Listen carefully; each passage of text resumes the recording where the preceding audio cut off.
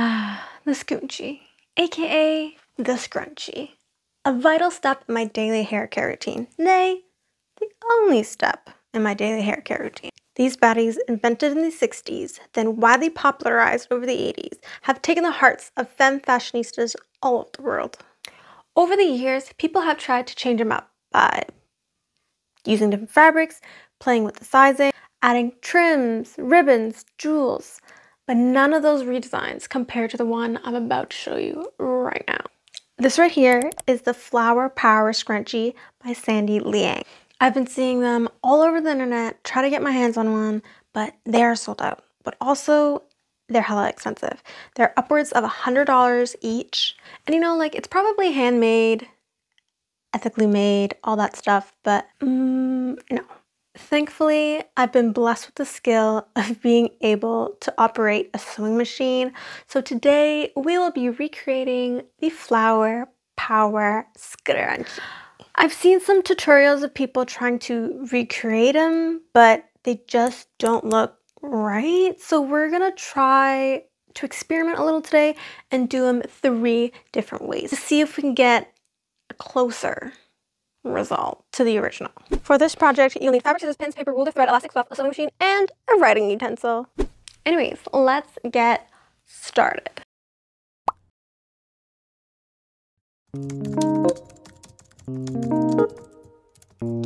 To create the pattern, all we need to do is blow up an image of the Flower Power Scrunchie and trace it. I recommend using a dull pencil as you don't want to ruin the device you're tracing on. Once that's done, use a marker to define your lines, cut your pattern out, then trace it onto some fabric. Flip the pattern over, trace, then cut your two pieces out. The fabric I selected is a bit boring, so to spice it up a little, I'm just gonna add this yarn to give it some texture. Why not just pick a fabric I like you as? Because I don't wanna waste my good fabric on something that, you know, might not work. This is, after all, our first attempt. If you are interested in doing this, all you have to do is lay the yarn down the way you'd like, pin the design in place, then straight stitch it all down. It's a bit time consuming, but I think the results are totally worth it in the end. Once you've got your pieces, match your good side to good side, pin it together, stitching the outside only. We want to keep an opening so we can bag it out and have room to stuff it with the fluff. Before we bag it out, make sure to trim and slit your seam allowances. Because the shape is so rounded, we're going to cut little triangles, making sure not to cut the stitch you just made. This will allow the fabric to move more freely and lay more flat without all that extra bulk from the seam allowance. It should end up looking something like this. Bag it out, be careful not to rip any of the stitches, then off to the iron we go. The best way to get a crisp, clean press with such a curvaceous project is to use a pin to pull that seam out. I like to get about three or four inches, then press. Repeat this method all the way around until you get the perfectly pressed flower shape. Now for the fluff. Use the opening we left to fill each petal with some stuffing.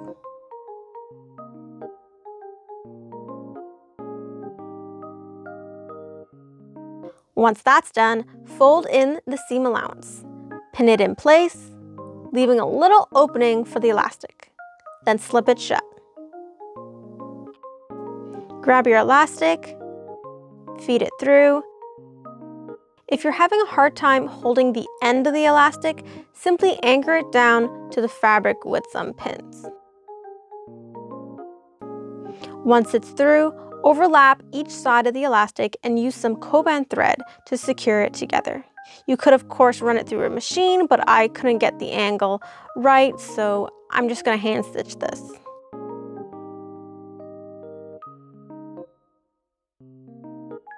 All that's left is to slip that open and close. Then you're done.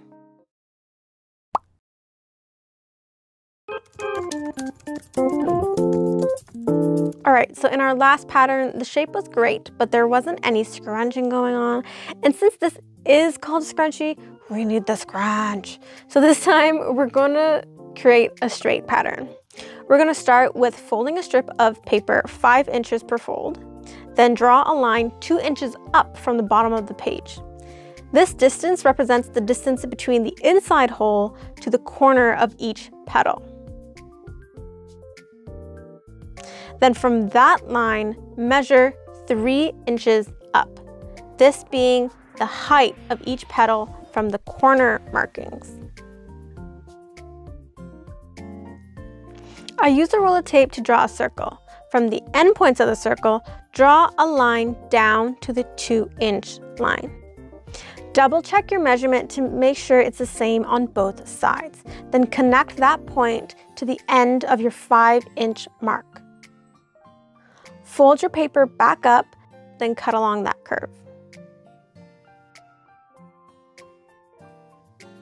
My paper wasn't long enough, so I only have four petals on this pattern. But no worries, I just have to move the paper over to trace out one extra petal as we want a total of five petals on each of the two pieces we'll be cutting out. I folded my fabric in half, good size facing each other, so I only need to trace out my pattern once.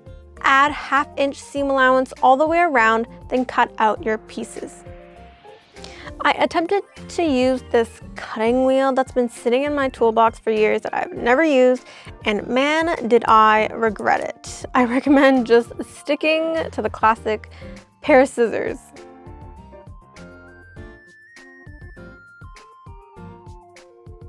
Once that's complete, pin your pieces together.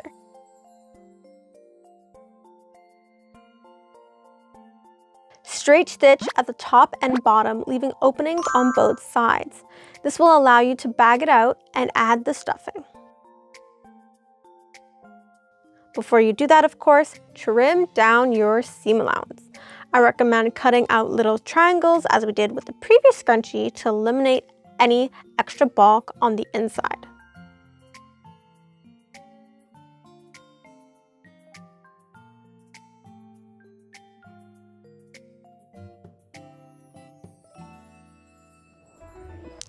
Bag it out, then press your seams. This fabric for some reason did not want to stay down no matter how much moisture I added, so we're just gonna have to live with these not so perfectly pressed edges. The petals will most likely end up looking a bit squarish, but whatever. For the sake of my sanity, I've accepted my fate.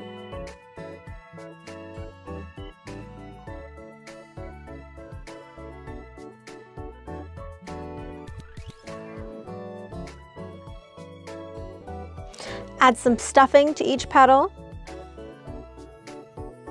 Feed the elastic through.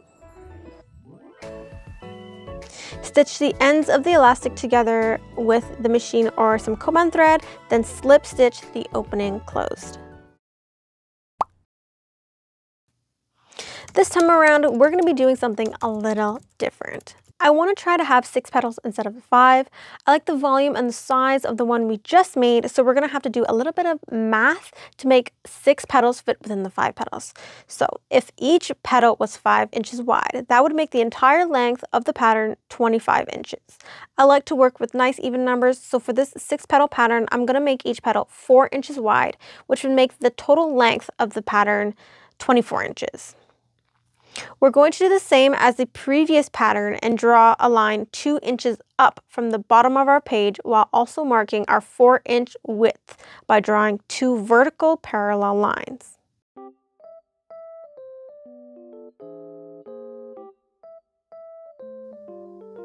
Halfway between that width, mark a point 3 inches up from the 2 inch horizontal line.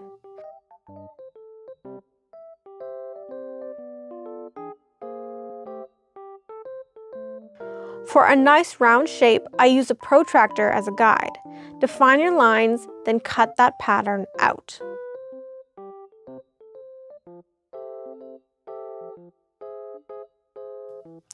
Since I'm using two different fabrics for this, I'm going to cut each petal out individually. Because I'm not cutting this on the fold, I need to trace the pattern out twice to make one petal piece. Make sure to also mark the 2 inch horizontal line as this will indicate when to start and end your stitch. When drawing markings on your fabric, I always recommend putting them on your seam allowance to avoid it showing up on your finished product.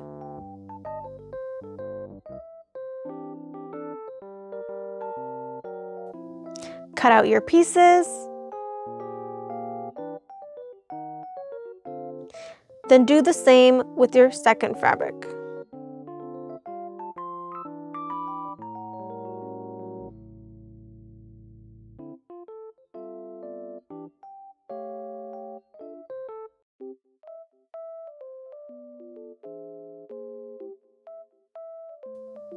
Lay your pieces out, then pin them from notch to notch.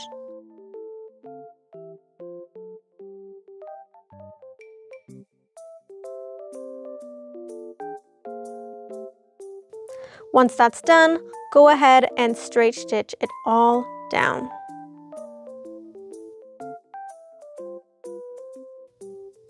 Press your seams open, then fold the petals in half, good side facing good side. Pin each petal down again from notch to notch. Then stitch it all down.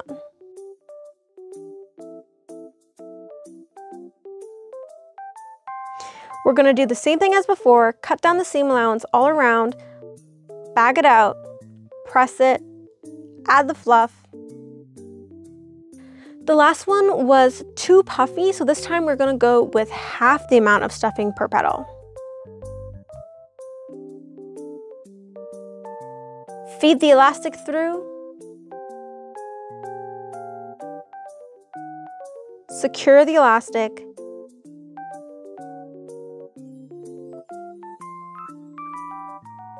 Then slip stitch the opening closed.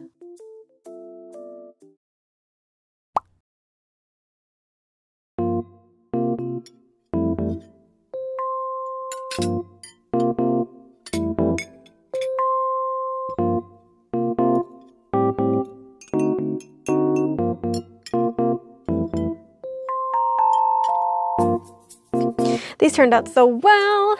If I had to make another one, I'd definitely use method number three, but alter it so it only has the five petals. It's just cuter that way. Other than that, I give this project a personal rating of 10 out of 10 as I'll be wearing these constantly. But for the recreation accuracy rating, I'd give it an 8 out of 10. Not one of them looks exactly like the original Flower Power scrunchie, but honestly, close enough that you wouldn't really notice from a distance. Thank you for watching this video. Smash the like button if you found this at all helpful. If there's something you'd like me to try to DIY, just let me know in the comments below. Subscribe for videos every Thursday, and I will see you next week. Bye!